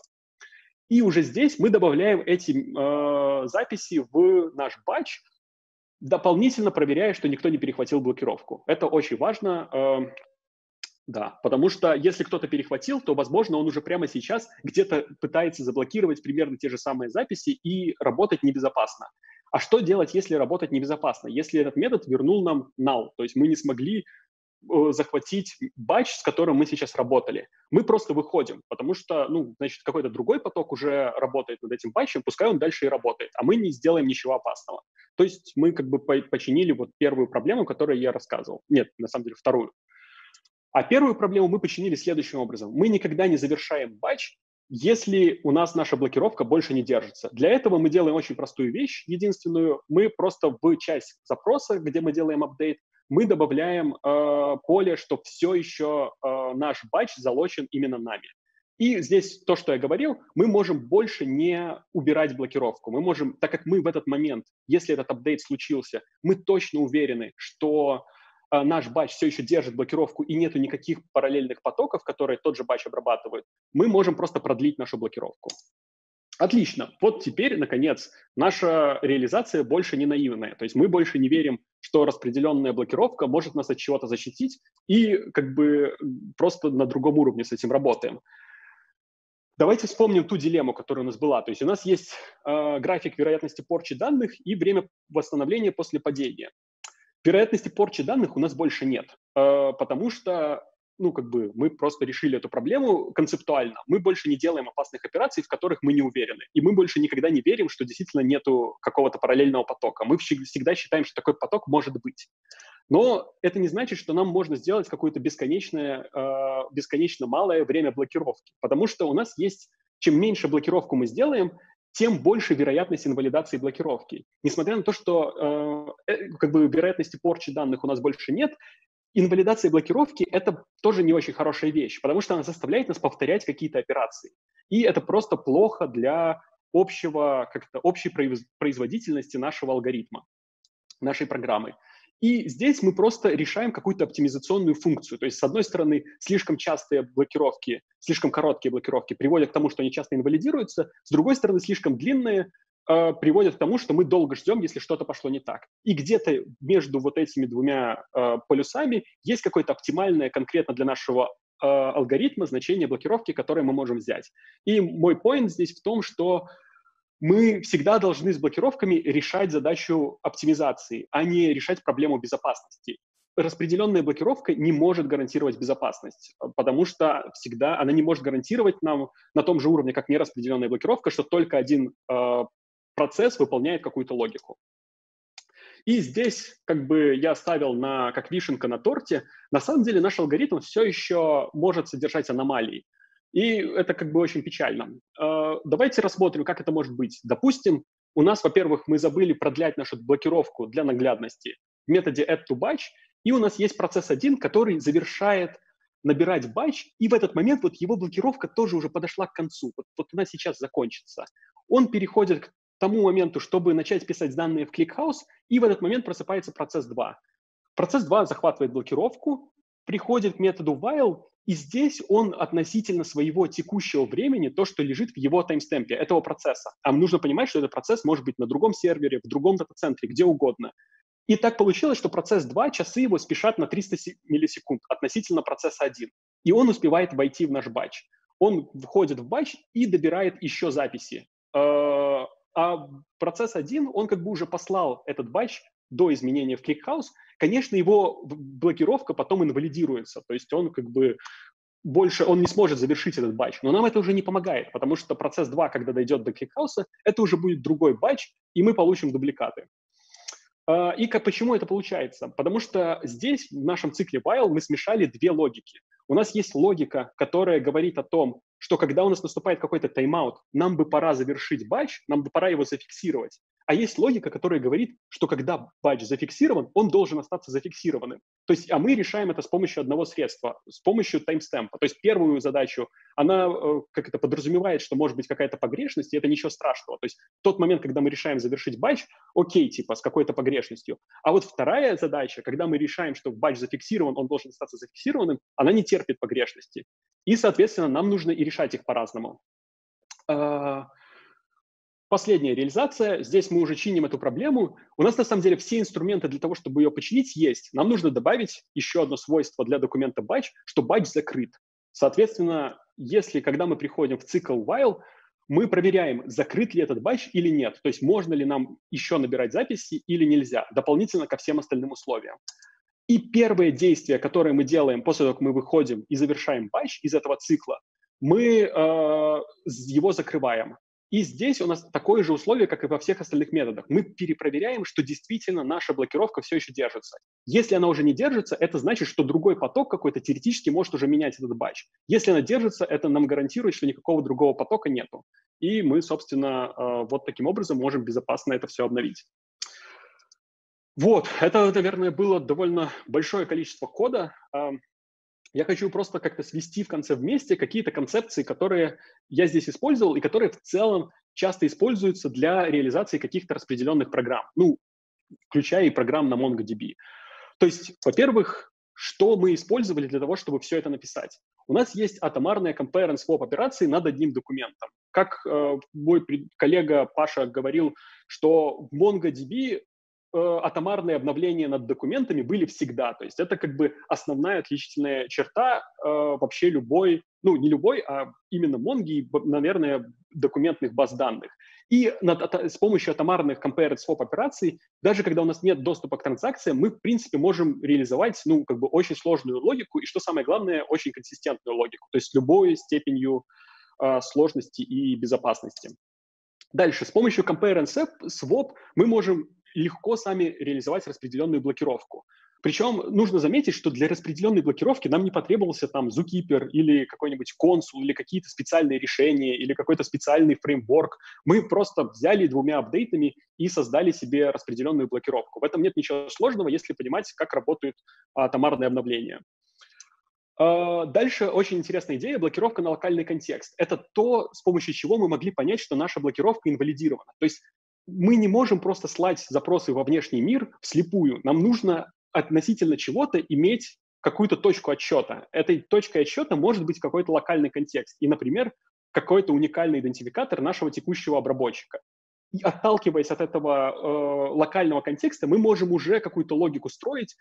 Хотим мы продолжать дальше наш алгоритм, не хотим продолжать, может быть, это небезопасно. То есть, но важно знать просто про такой подход. Далее, но атомарная э, операция – это не все. То есть если и, вообще говоря, когда у нас атомарные операции недоступны, если мы хотим в распределенной системе привести что-то к консистентному состоянию, то если у нас есть несколько неатомарных операций, то по определению они могут приходить в неконсистентное состояние. И у нас, собственно, один из способов, как мы можем вернуть их к консистентному состоянию, это делить наши операции на какие-то идемпотентные части. И мы можем тогда их повторять раз за разом, пока наша система не придет обратно в консистентное состояние. Второе, э, вторая идея – это что мы можем делать оптимистичное исполнение, и если что-то пошло не так, делать rollback. Опять же, у нас есть какой-то период времени, когда наша э, система в неконсистентном состоянии, но это окей, если мы умеем из этого неконсистентного состояния возвращаться.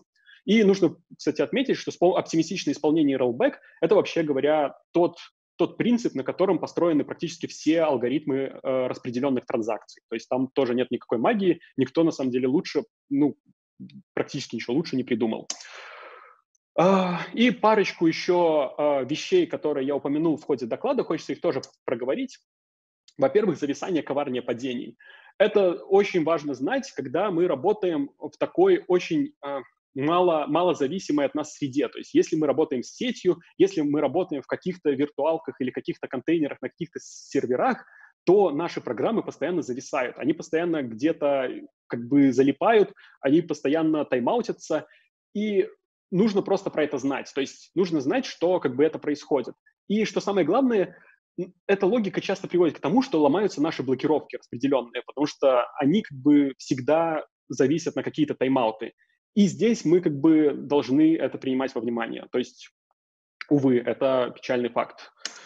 Дальше, мы не должны зависеть э, на синхронизацию часов, то есть какая-то бизнес-логика может зависеть на часы. Более того, тайм-ауты какие-то могут зависеть на часы. Это все какие-то операции, которые, у которых может быть какая-то погрешность. Но если мы зависим на синхронизацию часов в какой-то точной логике, что разные машины в одно и то же время будут принимать одно и то же решение, как бы в одно какое-то абсолютное время, то такого, увы, тоже нельзя добиться. И последние упорядоченные счетчики не всегда монотонные. Здесь такой, это такая очень важная мысль, когда мы имеем дело с распределенными системами. На самом деле очень мало в распределенных системах монотонных счетчиков, э, по-настоящему монотонных, которые действительно растут со временем, уникальные числа каждый раз дают. Чаще счетчики, они какие-то прыгающие э, и примерно упорядоченные, и примерно растущие. Нужно их отличать. Не стоит на, завязываться на те счетчики, которые примерно растут. Если вы пишете, очевидно, э, что-то, пытаетесь какую-то проблему безопасности решить. Понятно, что это можно использовать для каких-то оптимизаций, улучшений, там, ну, много чего. То есть эти счетчики все равно полезны. И а, два, буквально пару слов что получилось на толоке. То есть понятно, что на толоке у нас какое-то друг, немножко другое решение, оно там э, немного по-другому работает, и вообще говоря, э, как бы оно гораздо сложнее и много больше вещей решает. Но с другой стороны, все абсолютно концепции, которые здесь я показал, они на самом деле так или иначе там есть, и они примерно в таком варианте и собраны. И мы оказались примерно правы про то, что у нас будет в какой-то момент 2000 э, событий на запись, то есть это график с нашего продакшена, там, который я взял, когда готовил этот доклад. Э, и у нас есть такие пики, то есть этот график довольно неравномерный. Вот как-то так он выглядит, то есть э, да. И мы его превращаем вот в такой график записей в ClickHouse. То есть у нас сейчас примерно там 17 записей в секунду, э, инсертов ClickHouse, которые, и они как бы не зависят от этих пиков, потому что они все как раз-таки ровненькие по тайм-аутам пишутся э, и красиво вот так выглядят.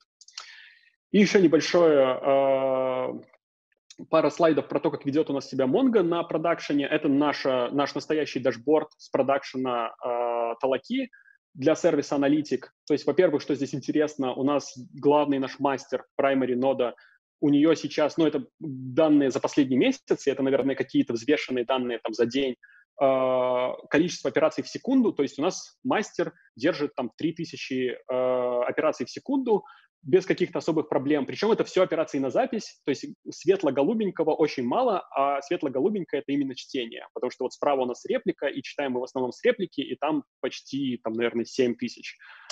Вот, а еще интересная штука, что у нас э, место вот для нашего буфера, то есть реализация буфера требует какого-то константного количества места, ну, если у нас не растет нагрузка.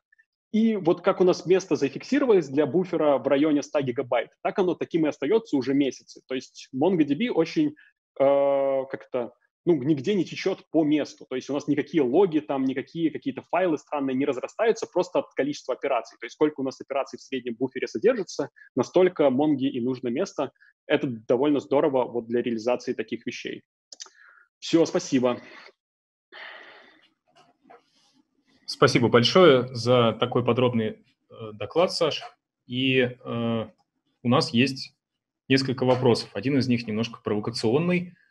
А, почему не Kafka, например? Или Tarantool? Вот у нас в чате спрашивают, не пробовали ли вы Tarantool? Эм, ну, во-первых, то есть, да, а, про Кафку я сейчас отвечу. То есть, почему не какая-то другая general purpose база данных? Потому что мы решали как бы проблему, ну, такую, как это, довольно стандартную для какой-то базы данных. То есть нам нужно где-то хранить данные, как-то к ним доступаться, иметь как, какую-то часть, э, ну, и какую-то уметь делать синхронизацию, например, compare and swap операции. И поэтому MongoDB мы с ней просто очень хорошо умеем работать. То есть мы ее много использовали в продакшене, и поэтому mm-hmm. наш, это наш выбор был по умолчанию. Мы выбирали между PostgreSQL и MongoDB, и с MongoDB просто такие сервисы можно быстрее разрабатывать на самом деле, то есть накидать их, а потом уже смотреть, там, взлетит, не взлетит. Вот, mm-hmm. почему не, поэтому не Tarantul, я сказать толком не могу, потому что, ну, мне кажется, Tarantul, он, наверное, дает такие же compare and swap операции, и я не знаю, что у него там с персистентностью, если честно, и к какой сложности там можно писать запросы. Ну, возможно, он вполне может подойти. Просто я не уверен, что он настолько как-то mature решение, как MongoDB. Я бы его, наверное, так вот прямо сходу в продакшн не потащил. А почему не Kafka? Это другой хороший вопрос. Потому что кавку э, нам бы пришлось поддерживать самим. То есть здесь нам Яндекс Облако поддерживает MongoDB, а кавку, ну, то есть непонятно, что бы она нам дала на самом деле. То есть, наверное, мы бы могли вот эти батчи резать с помощью какого-то Kafka Streams, там сделать какие-то потоки, э, как-то их вот так вот разрулить, хотя я тоже не уверен, так как мое знакомство с Кавкой только такое очень поверхностное, я тоже не уверен, как бы мы решили эту логику с тайм-аутами, но оно того, наверное, не стоит, чтобы вводить полностью новую технологию для того, чтобы, в общем-то, решить довольно несложную задачу такого буфера, как бы. Вот, ну да. Слушай, Поэтому, наверное, а вот... это неудовлетворительный ответ, но тем не менее, то есть э, каких-то серьезных сравнений мы не делали. Угу, понятно. Спасибо. Вот, э, кстати, хочу дополнить еще, что в Яндекс Облаке мы планируем наружу предоставлять управляемую кавку, это, скорее всего, произойдет в течение этого года, и, возможно, даже к осени люди смогут пользоваться, если они захотят. Кроме того, для конкретно вот этой проблемы, которую э, решают ребята, у нас также в будущем будет решение. В Кликхаусе разрабатывается специальный функционал, который позволит гарантированно вставлять, пусть даже и небольшие кусочки в базу данных, и таким образом можно это делать будет напрямую. Кстати, напомню, что ClickHouse умеет работать с кавкой просто практически из коробки.